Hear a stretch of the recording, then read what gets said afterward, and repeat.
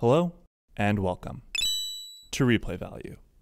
Carole and Tuesday got off to a great start and frankly exceeded the expectations I had for this Shinichiro Watanabe and Studio Bones production, which is impressive since I hold both of them in high regard. Openings are hard. To introduce so many elements in a compelling way can be difficult, but this show makes it look easy. And because I'm a sucker for breaking down how a show introduces and empowers its themes through almost every element of its production, We'll be taking a look at the premiere episode of Carole and Tuesday and how it capitalizes on this idea of connection. We begin with a flash forward opening, which structurally tells us where the story we're about to join is going. It's a journey to discover what the miraculous seven minutes that embedded itself into the history of Mars was, and specifically the two girls that brought it to bear. The scene is all of 20 seconds, but it contextualizes the story and gives this first episode the sense of building towards something grandiose that it'd otherwise lack. It also makes the titular names Carole and Tuesday carry some weight, which is doubly important since we follow that title card up with the clumsy escape of one of our two main characters. Tuesday's entire runaway sequence is a great example of how we can learn so much about a character through subtleties. She's got a huge room that feels traditional, almost Victorian in style, and her initial attempt to go out the window, a very cliche runaway style, is avoided as she just walks out the front door. Because of that, we can see that Tuesday was by no means a literal prisoner in that home, able to unlock the gate herself, which tells us that she wasn't being held there against her will and that it's for some other reason that she wants to leave what appears to be on the surface a cushy living situation. As she exits the gate, a nice guitar and keyboard melody come into the audio. A nice combination of the fact that she's holding a guitar and symbolic for the musical journey she's setting out on. Her dialogue affirms that she's a bit naive. She looked up how to run away online, probably why she tried to escape through the window initially. And unfortunately for the tired Tuesday, her plan to ride the suitcase doesn't last long. You can still see the donut sign in the back of this shot. Tuesday's journal tells us that her adventure started on April 11th, the same day that this first episode aired, and sets Cyndi Lauper as the idol in whose footsteps she's following. She's idealistic for sure. Tuesday doesn't really have a plan outside of wanting to be a musician, and that alone is enough for her to swallow her fears and to get on her first ever train. And speaking of trains, while her cliche window escape didn't work out, her cargo bay ride is certainly a traditional one.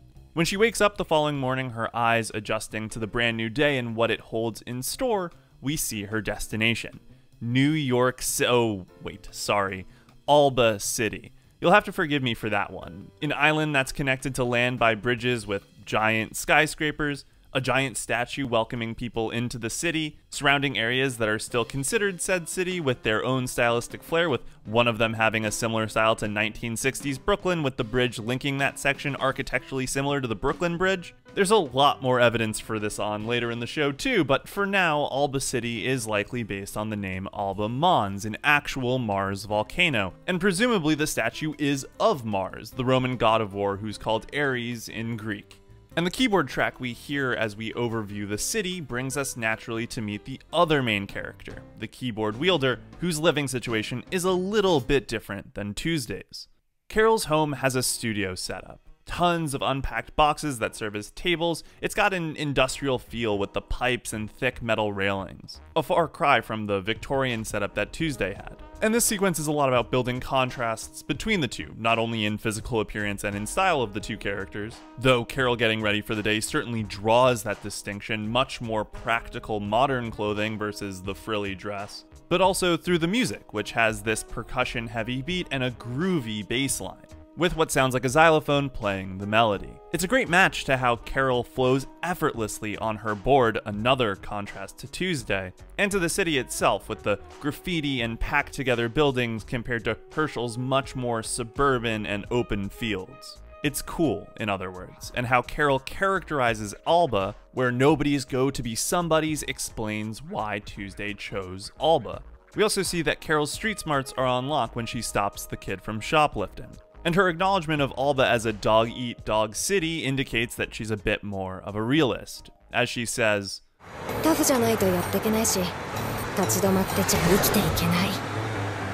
because we started with Tuesday's arrival to the city and now have characterized it through Carole, were firmly planted in Alba as the setting for the show, which is further confirmed when we briefly cut back to Tuesday in a massive terminal called Grand Station, only missing a central there, with tons of people, a huge contrast to the Herschel Station platform. With the differences between Carole and Tuesday fleshed out, at least to some degree, we enter the next thematic section, which shows how both characters are struggling in the city on their own. For instance, we see Carole working as a server at a fast food joint, which shows us how degrading her job can be, as one customer treats her like dirt and the other like an escort. However, despite her position, she's able to get the last laugh, to the unpleasant surprise of her bratty customers, making the jumping set meal a literal jump. We transition from Carole, satisfied in dealing just desserts, to her spot being filled by the lone tower. A nice partial match cut. Tuesday is doing her best navigating the crowded city, but we see further proof of her insulated upbringing as her bag gets stolen while she wasn't paying attention. The city is a big change for her. Stardust Plaza is full of colorful advertisements. And there's this one line that keeps being repeated on the tickers. Don't expect much of the future, but every step you take will build it, followed by either stop looking back, you can't change the past, or don't lose your focus which is a nice enough motto in isolation, but it's also nice slight support for Tuesday, who stated on the train that she might have made a mistake. Really, though, this motto feels like it will be relevant later in the plot, in which case it's good foreshadowing. The transition to a new character, Angela, is a great one, match cutting her live ad in the promenade to her filming it in studio. As the session comes to a close, the switch to Angela's point of view reveals a mostly empty room with a robot seemingly serving as both cameraman and director, the humans in the room being diminished by the change in focus. This is the first notion that the arts, at least commercially, are machine run, another industry automated by algorithms to maximize profit margins. Angela, angry about having to do the crappy durian soda ad, fires her manager rudely. These three scenes are connected in that they highlight the downside of human interaction. Carole, who gets mistreated at work and in turn bites back, resulting in her being fired, Tuesday, whose property is stolen, and Angela, who lacks agency in selecting her own jobs, as well as her manager, who gets berated. It's fitting then that in the aftermath of this, we see the power of genuine human connection through Carole and Tuesday's first meeting. The show has already gone above and beyond by highlighting their differences through just about every means possible in scene and audio construction. And here again, it's done on this bridge, fittingly since bridges are a great symbol of connection. Carole enters from the right and Tuesday on the left. Even their positioning on the bridge itself is on opposite sides horizontally. Tuesday, in the aftermath of her bag getting stolen, thinks about going home but resolves to move forward, and Carole states that her music won't reach anyone on this bridge, that no one has any interest in a girl like her, but that regardless, she wants to sing her own resolve manifesting. But it turns out that she's wrong on the first two of those counts, as her music reaches Tuesday, who stops to listen and connects with it, bringing her to tears. Her takeaway of a sad song that tries to be strong is affirmed by Carole. Carole's song didn't only have Tuesday listening, it also had a pair of seagulls and a security officer who the two girls have to run away from.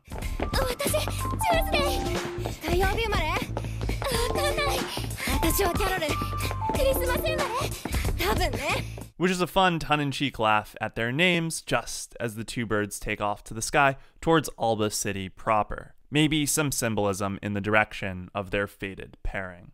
As we return from the ad catches, which I love aesthetically, we rejoin Angela, who is a big enough name to attract a small crowd. Inside the car, we meet Angela's mama, who she positions away from. Add this plodding brass tune, and it breathes discomfort into the scene. Mama is overbearing and dominates the shots she's in. And as she threatens to make Angela's managers AI from now on, Angela says not to do that because then she won't be able to bully them, suggesting that the way that Angela achieves freedom from Mama is to use the human intermediary to do what she wants, as opposed to an AI who would just do commands from Mama. It's also not a great look for Angela. It makes the audience a bit more wary of her if the previous firing scene didn't already. As Mama grabs Angela's face to highlight her point about effectively controlling her, something Angela doesn't want but is forced to put up with, just balls up her hands. And thus we enter the thematic section of the episode that's about parents. The audio sound of turbines and rotors brings us back to Herschel and the Simmons house, as we meet the two individuals who appeared in Tuesday's flashback on the bridge. If we needed confirmation that they were super wealthy, the hover jet that lands on their property is good proof. Notably, the older woman's reaction, presumably her mother, but at the very least her guardian, isn't about whether Tuesday is safe or not, but rather, what's there to be displeased with? And then saying, as though she can't fathom why Tuesday would run away. It's a concern with the material, as made clear by her gesturing to the house, and not the emotional, which the guitar is the embodiment of, which we understand both through Tuesday's earlier flashback and when Spencer mentions that she took the guitar with her, leading to the brief realization they both have. Spencer's mother designates responsibility of Tuesday running away to him. She's very hands off compared to Angela's adult figure, and is more concerned with her own job than Tuesday. Later on, we get a comment about the fact that Carole's always been on her own and that her folks aren't around, which adds more fuel to this parenting comparison. Two hands on, two hands off, not there at all. Which makes the Tuesday Angela situations the most comparable, frankly, and should be something to keep an eye on in the future. We return to Angela and Mama as they enter Artenon's lab, which has this bizarre syncopated electric music that's a little bit hard to listen to. It truly sounds like a computer program created the song and is such a huge tonal shift from all the instrument focused work we've heard up to this point. Mr. Tao has invited Angela here to be a puppet for the music his AI creates, since she desires to be a singer. The shot of the tower they're in, as he states her status, makes it clear that he's the real big shot. Angela and Mama aren't really in the same league, which is why Mama tries to butter him up as they enter. As Tao outlines the terms of their deal, he walks straight past Mama, since she's not the person who has to be okay with being a puppet, and to Angela, who responds that that's fine. But the shot selection suggests that it's not that simple. Her face is angled downwards to challenge the height power dynamic in the shot, and as she walks past him, she says,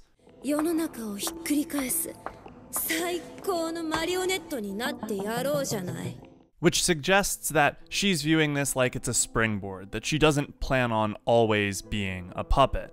And Tao seems to recognize this as he stares back at her. We follow that up with Carole and Tuesday checking out Carole's digs which leads to introducing Ziggy and them drinking the soda that Angela was promoting earlier. As they talk about Tuesday running away from home, her never having played guitar in front of anyone before being the question that launches us into a full on response, we cut from Carole about to drink to a drink being poured at a bar. We see another one of those screens for ordering, and for the clearly intoxicated gentleman, that's an opportunity to ask for the barkeep. Between this, the Big Jump Burger from earlier, and Angela's comments in the car, we see that there's a need for human interaction when it comes to emotions. The guy who was angry about his coffee being bitter can't really rant to that about an AI.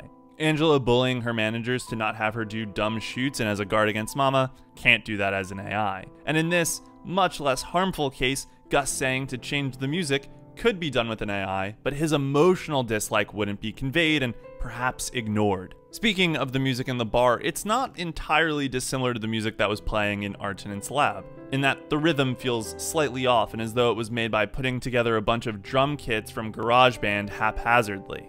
Gus, who we learn is a former member of the music industry, passes out, and we return to Carole and Tuesday, a brief establishing shot that conveys the mix between futuristic society and older designs. Two things that are opposites but work really well together. As we continue with the importance of that human emotional connection, with Tuesday explaining why she ran away from home. As this nostalgic piano tune plays, mixing a downtrodden feeling with a kind of positive outlook, Tuesday says that she felt alone at home and at school. But then Cyndi Lauper's titular True Colors caused her to cry, as it said the thing she most wanted to hear, in that it seemed to understand her. For Carole, she was a refugee. Whether that's by war or disaster is unclear, though it explains the lack of parents and the likelihood that her flashback is her being passed over for adoption. During her time in the camp, a singer named Flora visited, and that coolness made her desire to be a singer. Carole can come up with melodies no problem, but she states that something is missing and restates more broadly Tuesday brings in what's missing lyrics that just wouldn't stop flowing when she heard the song, and with that, we enter the jam session. The jam session is definitely the emotional core of the episode and arguably the best moment in the whole show so far. It's the climax of the episode and brings together all of these threads that have been introduced up to this point. The fact that they're so different and looking for connection, their mutual desire to sing and let feelings out, to be a musician. And so it's pretty amazing that this no dialogue sequence is able to convey so much just through the subtleties in the way it's shot and in the characters. Tuesday starts off super nervous. She's never played in front of anyone before, after all, and strums out some chords quickly. Carole keeps an eye out for her to make sure that they're in sync, slowing down her pace until Tuesday is ready. It's a testament to Carole's welcoming nature that Tuesday feels so comfortable so fast. A huge departure in terms of emotional safety than what Tuesday must have had at home or even earlier today in the city. Even still, Tuesday plays on the softer side and follows Carole's lead on the humming. But neither of them are perfect and they miss their notes and timings a bit, just as you would expect, especially when they try out some new stuff. But when the lyrics come into play, Tuesday immediately seems like she's in her element, taking the lead for the singing. The repeated lyric, Can you feel my tears? They won't dry, is as literal as you can get about emotional connection. Can you touch my sadness? This desire to share this emotion and also for contact. Can you understand me, who is alone, the loneliest girl? I love the way this scene is shot. It's really warm and to scale. It doesn't treat it any bigger than two girls playing music together in a room, even though we know that it eventually leads to something super grand. Ziggy and the viewer are the only ones watching, and there's something very comforting and personal about that. We even get a shot from outside to establish how lucky we are to be on the inside and to re-establish that scale. The ending of the song is really surprising that it ends with just silence. And then there's the slight emotional whiplash of sadly singing The Loneliest Girl to a positive yay. But it makes sense that there's no big impact within the context of the show and that it doesn't overstate the moment. This one song didn't redefine anything globally, and their happiness over finding someone to emotionally connect to and play music with certainly overrides the emotions that led to Loneliest Girl's creation. They are no longer lonely, at least for the moment. It also speaks to music's ability to connect people despite the fact that they are opposites in so many ways. True Colors, our episode title, and Cyndi Lauper's song speaks to this as well. As Cyndi Lauper sings about how she understands the true you and that you should let it show. Tuesday took that message to heart, going to Alba City to try and follow her dreams of being a musician, her true self. And this jam session is more the embodiment of that. Tuesday getting to be herself now that she's left home that felt stifling, and Carole having someone to connect to the music she makes that she never thought would happen on the bridge. It's also a song about being there for people that you care about and making your way through life together, which is a nice foreshadowing element for the partnership that's about to be formed which happens as the two girls go onto the roof with a really fun keyboard and guitar melody playing in the background as they look towards Alba City. The use of Instagram as a double exposure and to solidify their partnership is a great shot, and the following fist bump and excitement over their duo name, Carole and Tuesday, are a great way to set up future episodes. But before that, to end off the episode, we foreshadow an eventual meeting with Gus, who is the narrator for the opening scene as well, just as we end the episode with to be continued. I have two stray thoughts before we wrap this up. The ending credits theme is perfect, and I physically cannot stop listening to it. And I hope, for the love of all that is holy, that every car in Alba City is a self driving one that's connected to some kind of overseer. Because this infrastructure right here is terrible and bound to cause accidents. Crossing over inbound traffic? Absolutely insane. In all seriousness, what I love about this Carole and Tuesday premiere is how it executes on its critical theme of connection in a variety of ways. Through the use of setting and small world building elements, and not only through the primary character's interaction, but in the musical instruments that relate to them as it affects the sound design. It also points out the downsides of human connection, and perhaps why it's been minimized in this society. And so it feels safe to say that this idea of connection will be one of the core themes moving forward. But we'll be able to see how it evolves next week because I'm happy to announce that Understanding Harmony, a breakdown of Carole and Tuesday, will be my second analytical series in the same vein as Hyouka, coming out almost every week. I've wanted to cover a show weekly for the past six months, and I feel pretty safe with this one, and so I'm really excited. But that's enough about that. Hope you enjoyed this video. Let me know what you thought about Carole and Tuesday's first episode. Leave me a like if you enjoyed the work done here, and hey, consider subscribing if you want more Carole and Tuesday content brought straight to your inbox. But until next time, thanks for watching.